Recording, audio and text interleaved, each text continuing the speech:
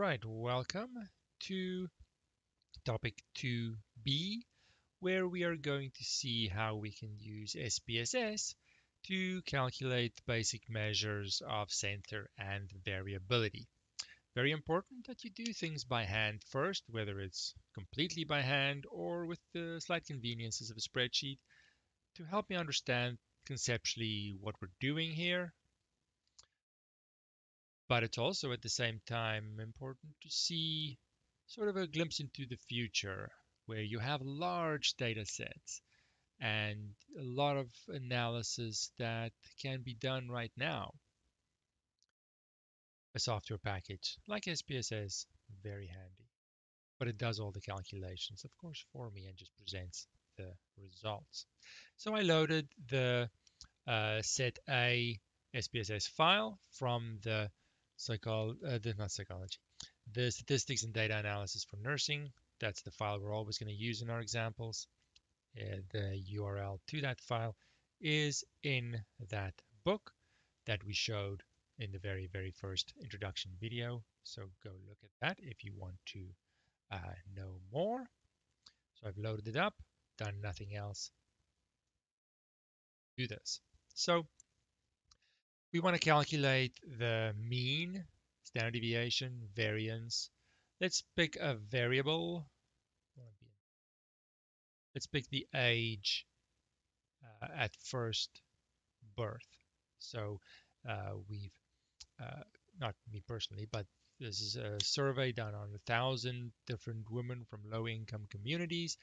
And one of the variables that the survey is measuring is the age that the women were when they gave birth for the first time. Analyze that variable. So what we're going to do is we're going to go to our Analyze tab at the top. Let me just see, we can see this. Okay. Analyze at the top. Then we're going to go to Descriptive Statistics. But this time we're going to select Descriptives that, little window pops up. We can make this window bigger, sure. Now, for you, it might look like this with an empty variable window on the right. I want to select the variable I'm interested in, age at first birth, click on this arrow, move it over, and that is now the variable that I'm interested in. I want to click on options to the right of that, and I see some options that I want to display in my output. The mean, I don't care about the sum. I want the standard deviation. I want the variance. I want under this, where is it now? Range. Minimum, maximum. Yeah, welcome to see that too. I don't care about the standard error right now. That doesn't mean anything. We still have to discuss those concepts. Let's click on continue. Say OK. Here. Check if we can see this. Hopefully it's big enough for you. I don't know how to zoom this. Figure this out, right?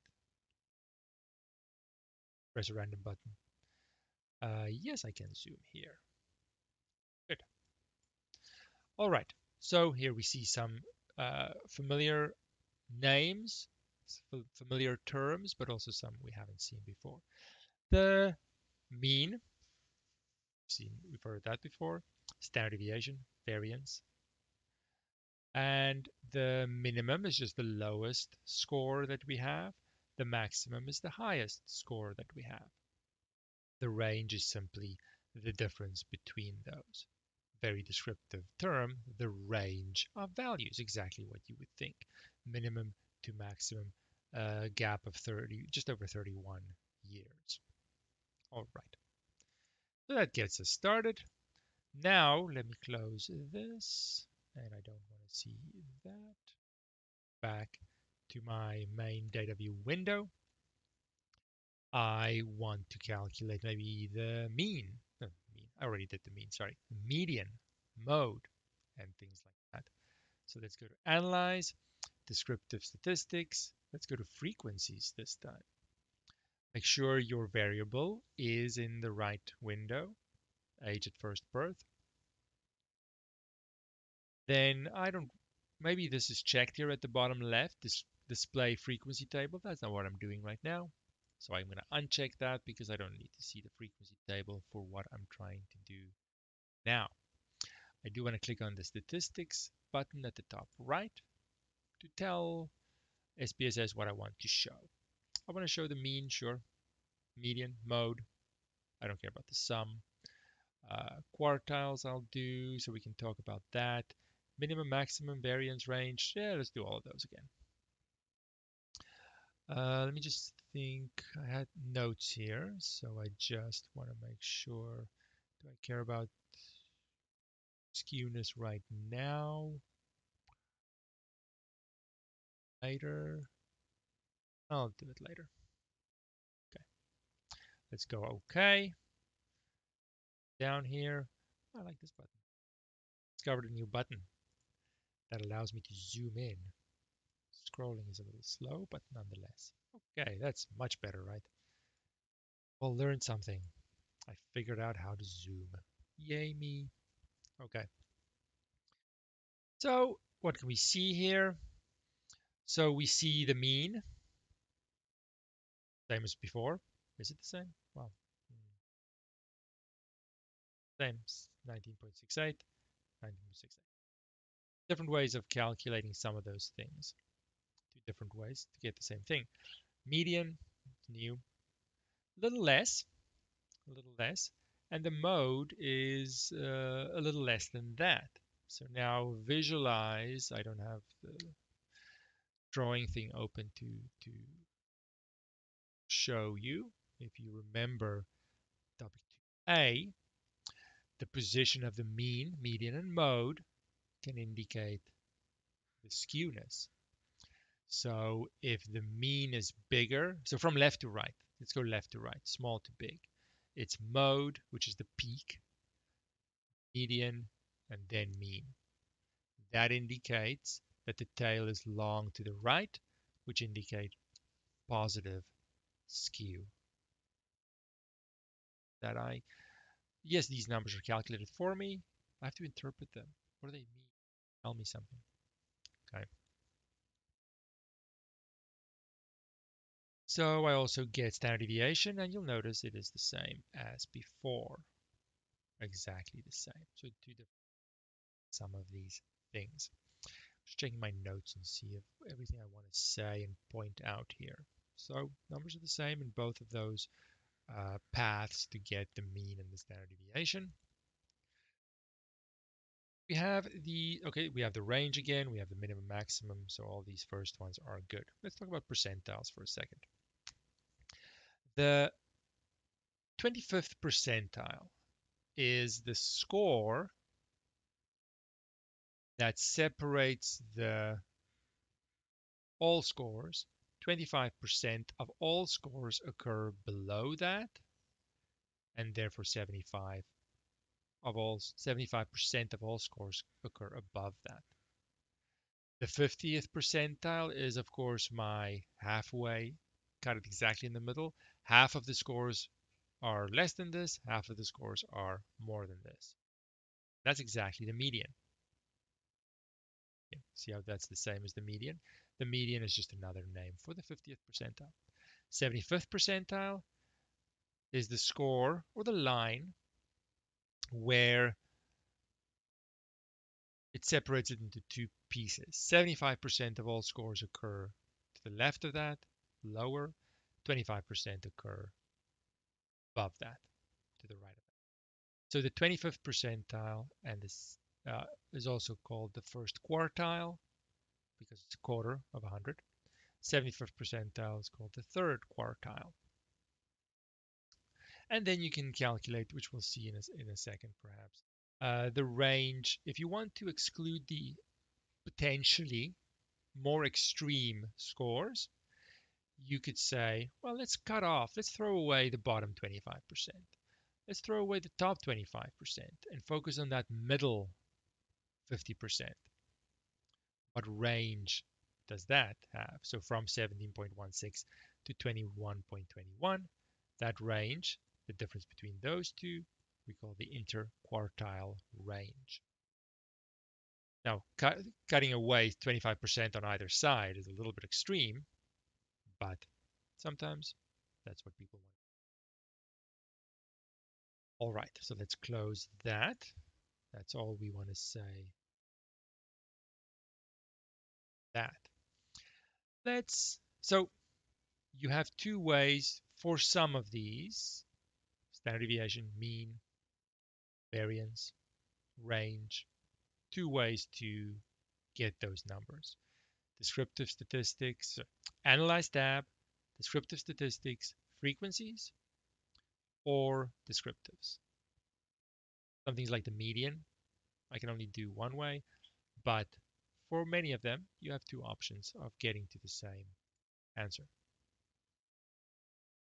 All right, let's talk about outliers a little bit. We briefly mentioned the concept of an outlier uh, in topic 2a in when, when we talked about the mean being sensitive to an outlier and that's the whole point of the median really right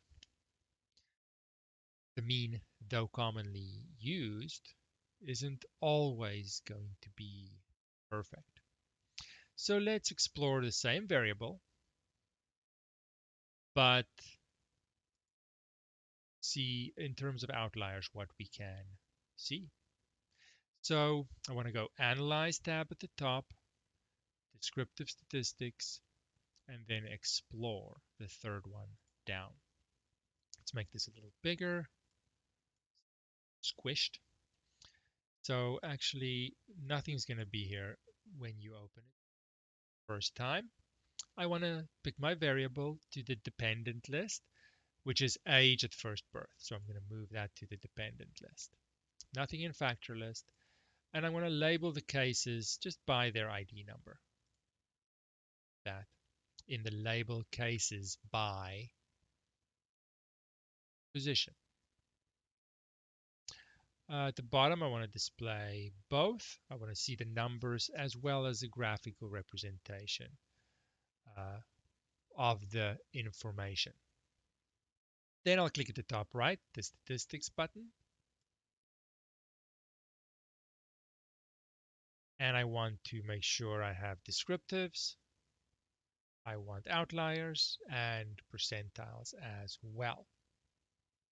So I'll click on continue there. Then I want to click the plots button below the statistics button. And I just want to make sure it is. Let me think, which one do I want in my box plots? I'll pick the first one, factor levels together. And I don't care about the stem and leaf or a histogram right now. This is good enough, just want that box plot. So I click on OK and then I am ready.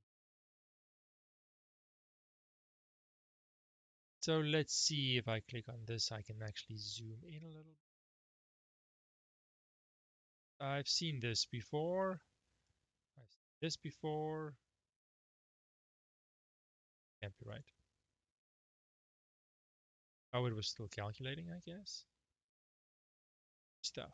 Here where it says explore. Can I preview print this data set? A print preview. Doesn't want to show me everything. Hmm. Next page. Ah, genius. Genius. Okay, so where do I want to be? Uh, over here, I guess. Zoom in. So we've had this. No, we have not. Okay. just want to make sure it looks it looks so similar. Uh, it just adds information at the bottom of your output window, and often uh, I get confused. Like, uh, what's actually new? Uh, so we have some missing cases here. Okay, that's fine. We've seen those things before. Descriptives, not quite the same not quite the same. We have the mean, that is the same. And I'm not going to worry about the confidence interval right now. The 5% trimmed mean makes a little bit more sense to me than quartiles. In that 5% of the bottom scores are thrown away, trimmed. 5%, the top 5% of scores are trimmed and thrown away as well, because that's where the potential outliers will sit.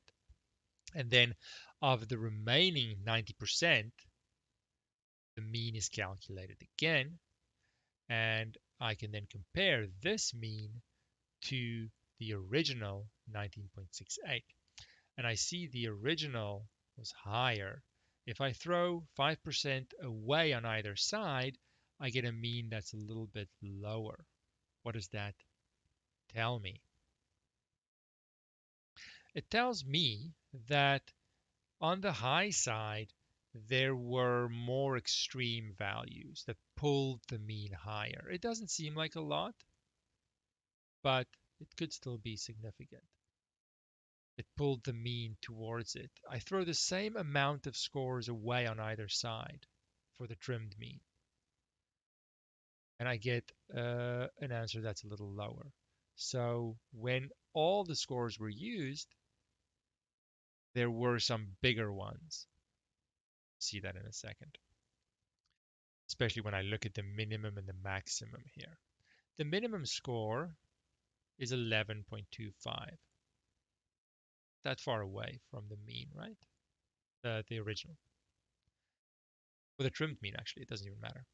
The maximum is 42, which is much further away. So there seems to be some extreme values, scores rather, some outliers on the high side. If I throw the same amount away, my mean drops. These guys were pulling it away. I see the range, interquartile range we've referred to, and I see the skewness and kurtosis as I suspected based on the positioning of the mean median mode, positive skew. And this also says oh, positive kurtosis as well. Alrighty. Um, let me see what I want to say here. Just want to not make sure I don't skip anything. I made notes. Um, skewness, yes, it confirms what we thought.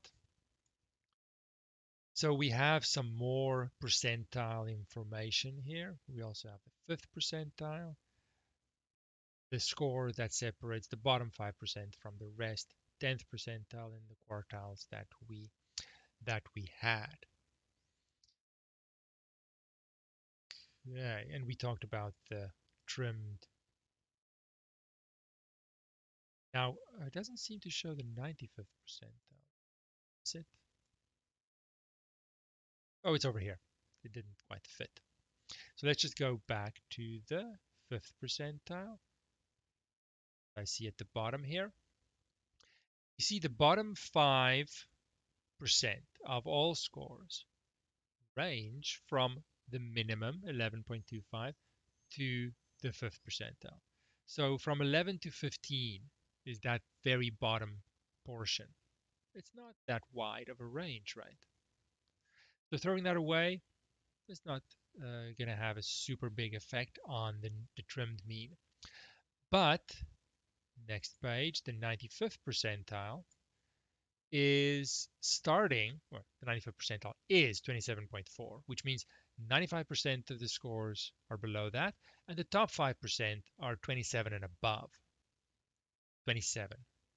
So I have to go back and forth here, unfortunately. 27 is the cutoff for the top 5%, but they go all the way up to 42. It's a much bigger window, which has a much bigger effect on the mean. Again, we suspect some outliers over there. Percentiles. We actually have a table of suspected extreme values the in these in these um, extreme sides. The lower ones, uh, they're not that far away from that um, percentile. Top ones have a much bigger gap 27.4 in the 95th percentile, all the way to the max of 42. Right. Uh, let's look at the graph, which is visually going to be much nicer to look at, of course, than a list of numbers, right? Okay, so how does this work? Well, we have the center line here, which is the median. Then we have the 25th percentile is the bottom of my box. 75th percentile is the top of my box. So the middle 50% is the box. See, they're pretty tight. They're pretty tight. The line here, extending from the box, is, in the case of SPSS, one and a half times the interquartile range, the width or the height the height rather of this blue box is the interquartile range. One and a half times that further down in either direction. And a good sort of rule of thumb to identify outliers is those scores that sit outside of this one and a half reach. So if I reach down by one and a half, which is graphically indicated here, all the low values fall within that. Nothing on the low side is considered extreme or considered the outliers. But on the high side, there are some. Some pretty close, called mild outliers, and some further out, called extreme outliers. I am honestly not sure where the cutoff between mild and extreme is. And the downside to statistics dedicated software packages like this is you're going to have to go and research exactly how does it calculate all these little things. I had to go and look up how does it determine the, these little lines here, one and a half times the interquartile range. But they don't show that, right? All the calculations are done in the background for us. So we definitely have some extreme, some outliers on the high end. You then decide, well, do I want to eliminate starred ones and recalculate everything to give me a more accurate representation of the whole group of women because these outliers, these extreme ones, pull the mean, pull these descriptive statistics, these measures, mean, variance, pull it away. I don't want one score to have that big an effect when our ultimate goal is to use these measures and these calculated values, values uh, called statistics, calculated from my scores. I want to use that to say things about the properties in general outside of the specific scores that I collected.